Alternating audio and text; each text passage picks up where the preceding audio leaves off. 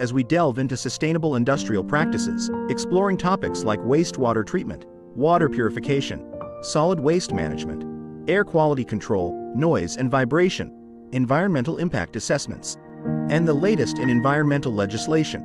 Whether you're a seasoned professional, an industry leader, a student, or simply someone eager to make a positive impact, you're in the right place. Together, let's pave the way to a sustainable future, one episode at a time. Uh, hi everyone, so uh, welcome you all back for another episode of our uh, video series on environment engineering. So today we will be discussing another uh, very important act uh, in Sri Lanka, um, which is uh, related to ambient water quality. So it's called Ambient Water Quality Act of Sri Lanka, and this act was uh, enacted in 2019, and um, it's a critical component of Sri Lanka's uh, environment regulations. Uh, it aims to ensure that the country's uh, inland surface waters maintain high quality standard suitable for various uh, users, uh, indicating uh, drinking, uh, recreation, and agriculture. Uh, likewise, so uh, this act outlines specific um, standard and guidelines to control discharge of pollutants into water bodies and to safeguard public health and the environment. So uh, this uh, act uh, sets uh, forth uh, crucial regulations to control pollution levels in inland surface waters and uh, it prohibits the discharge of pollutants exceeding established ambient water quality standards and the act categorizes water bodies based on their required quality standard ensuring specific guidelines are adhered to for drinking water recreational waters and for water for agriculture use. So uh, in this act uh, we have uh, several categories. So uh, category a is uh, uh, water that requires simple treatment for drinking. So what is the simple treatment means? We will discuss it later. So category b is water which is suitable for bathing and contact recreational water and c is uh, water suitable for aquatic life. And uh, d is a water source that requires to undergo a general treatment process for drinking. So uh, what is this uh, general treatment process? Again we will discuss it uh, at the uh, in the next couple of minutes. And category e shall be water suitable for irrigation and agricultural activities.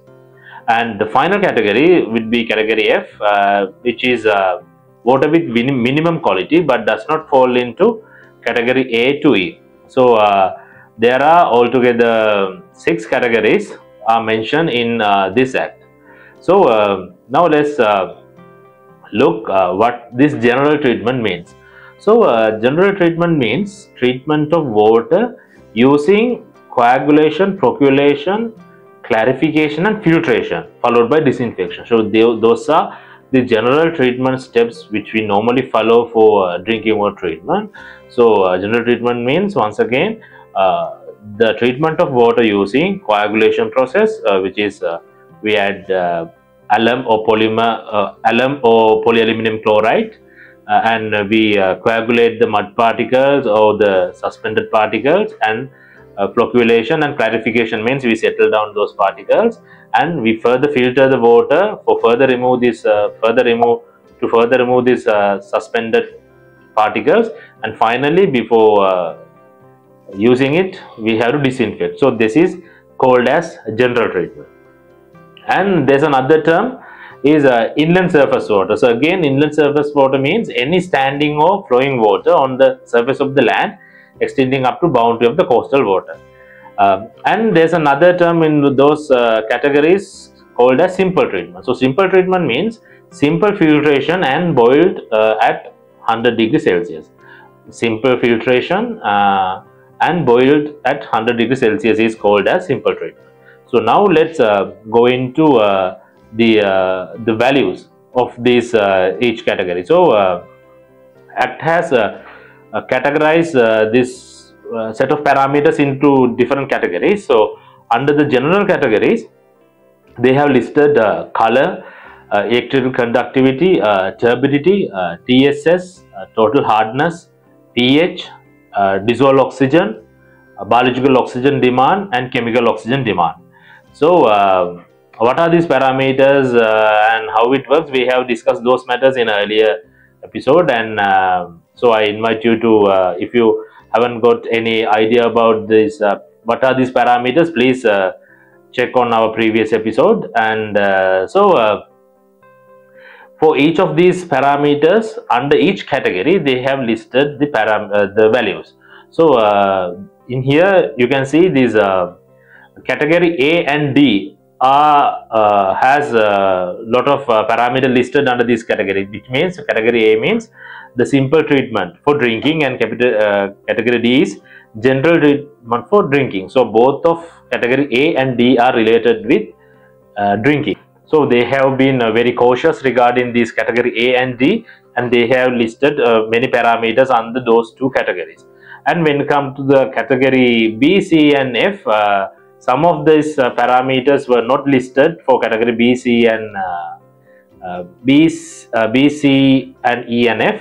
So because uh, those are for the uh, B is for the bathing and recreational, C is for aquatic life, and uh, E is for irrigation, and F is the the minimum quality.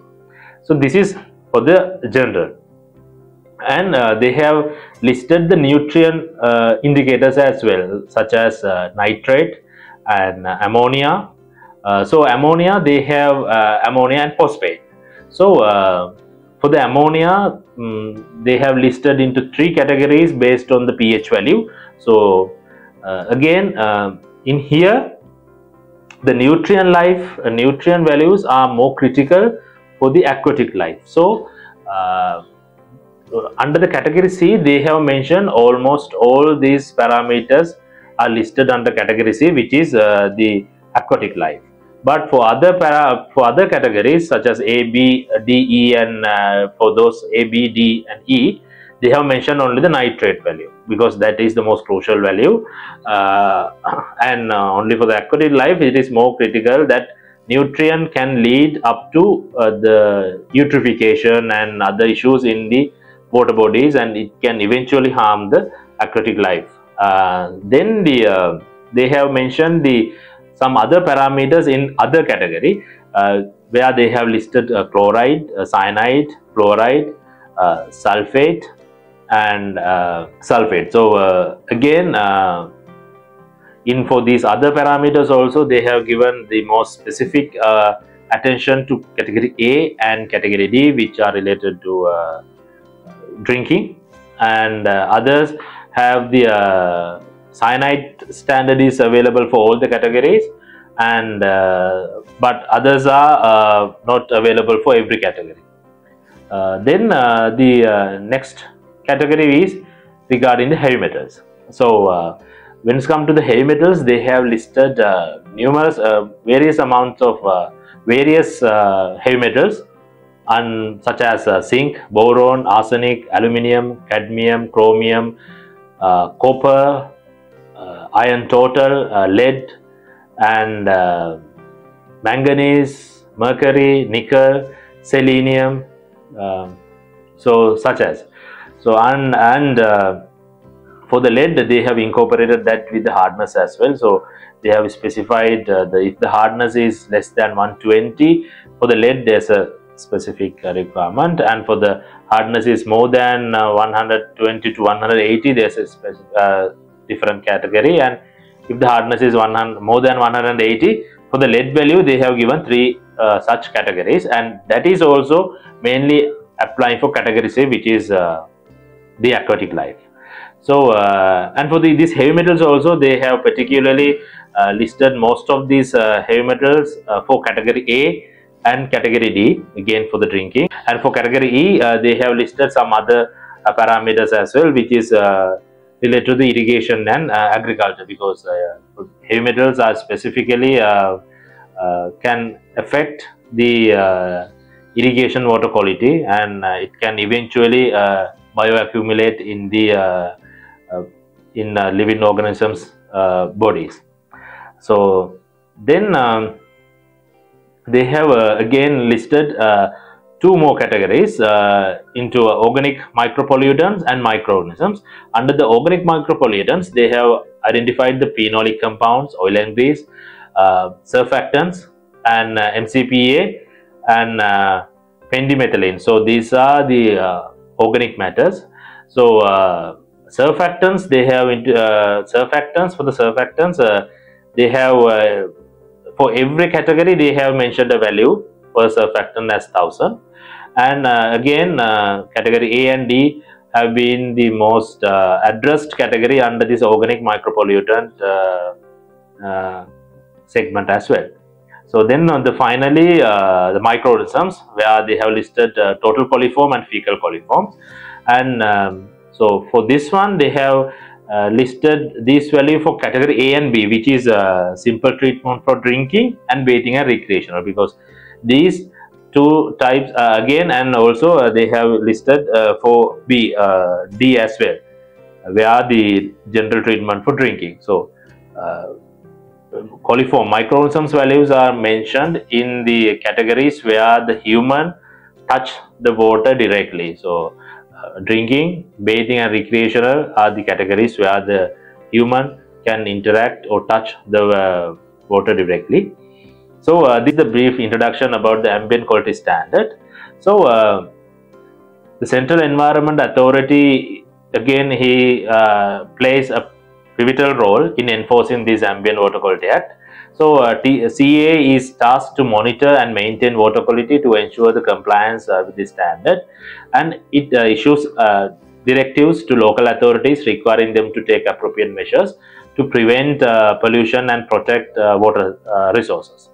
So, um, uh, compliance with this act is crucial to maintain uh, health of Sri Lankans water bodies and non-compliance can result significant environmental damage affecting the public health and uh, as well as the economy.